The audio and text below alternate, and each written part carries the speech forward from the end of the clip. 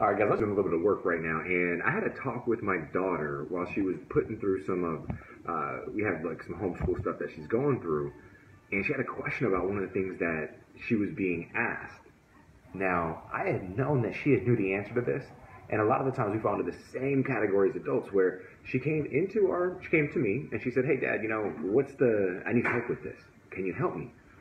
And I looked at her and I said, honey, you really don't need my help with this. Show daddy that you know what to already do. What do you think you need to do? And I walked, I had her walk me through what she thought the best, you know, uh, the way to answer the problem would be, the way, the best way to get the solution. And she was right.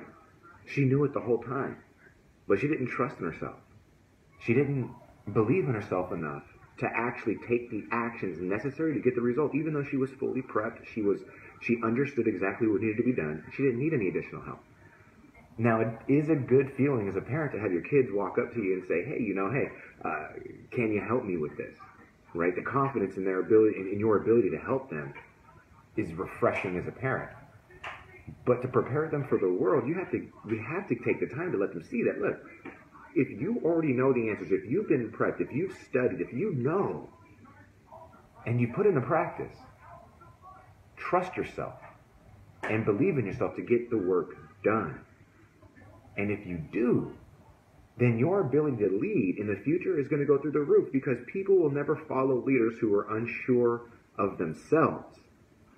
Once you believe in yourself, have that trust. Trust yourself to be able to do what you know you can do.